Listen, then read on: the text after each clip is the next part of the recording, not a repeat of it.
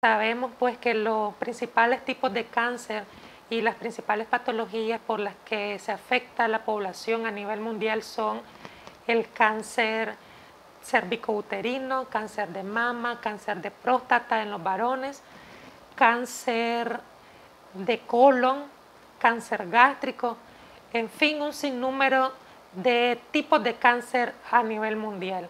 En Nicaragua, los principales son los que afectan a la mujer. entre ellos tenemos el cáncer cérvico-uterino y el cáncer de mama. Aquí pues tenemos eh, la mayoría de las mujeres que no se realizan y no visitan una unidad de salud a tiempo son las que sufren mayores complicaciones con este tipo de cáncer.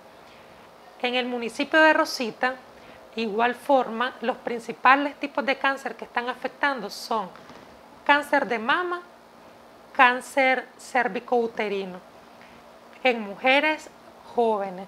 A veces tenemos los grupos etarios principales de mujeres de 35 a 50 años y las mujeres un, un menor promedio en las mujeres mayores de 50. Pero ahí lo tendríamos que derivar porque de las mujeres en grupo etario mayores de 50 años, que son pocas, la mayor población es la población joven, las mujeres en edad fértil, fértil que son pues de 15 a 49 años. Entonces, estas mujeres, por la cantidad de población, la tasa de mortalidad o morbilidad en cuanto al cáncer eh, es baja por la población, pero a diferencia que en las mujeres de mayores de 50 años, estas son, es menor la población, pero la tasa sale más alta, tanto de morbilidad como de mortalidad por este tipo de cáncer.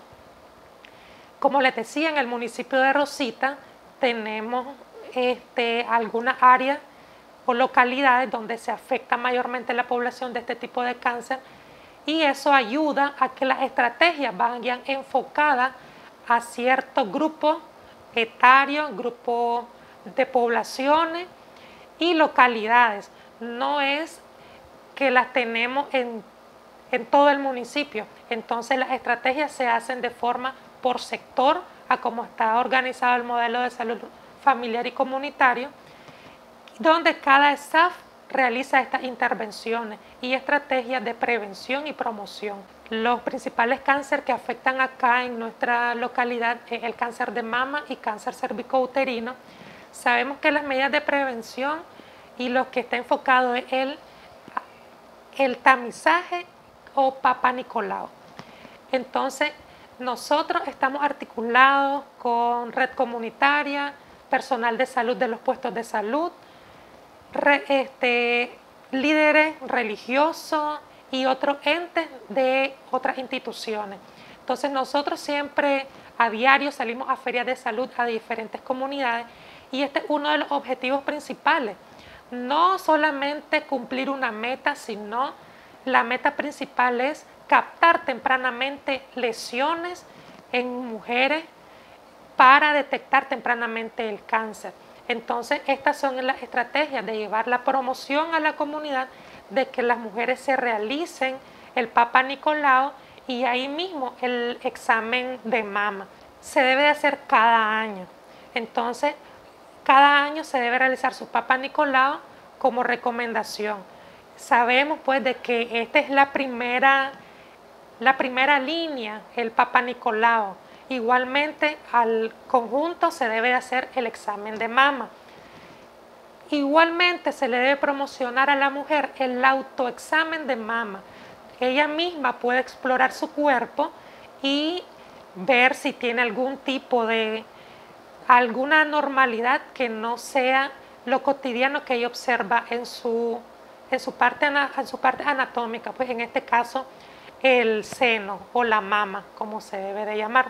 Casualmente el día de hoy realizamos charlas educativas a nivel pues, de puestos de salud, centro de salud aquí en el municipio y consulta externa, donde le hablábamos a la población y estábamos fortaleciendo pues los conocimientos en la población, educándola para que ya dejemos los mitos atrás de por qué no quererse hacer un papá Nicolau, sino más bien instarla e incidir a que la población, y no solamente en la mujer, porque también está el machismo y a veces los varones no dejan pues que las mujeres se hagan un papá Nicolau.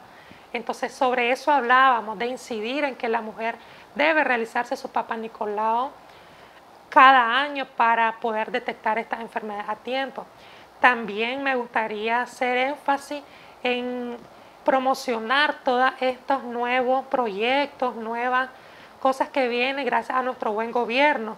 Por ejemplo, aquí se hace un autoexamen de mama, un examen de mama, sale una lesión, tenemos ultrasonidos de mama, se están realizando mamografía, las pacientes ya no tienen que ir hasta Managua o ir a buscar una cita para otro lugar.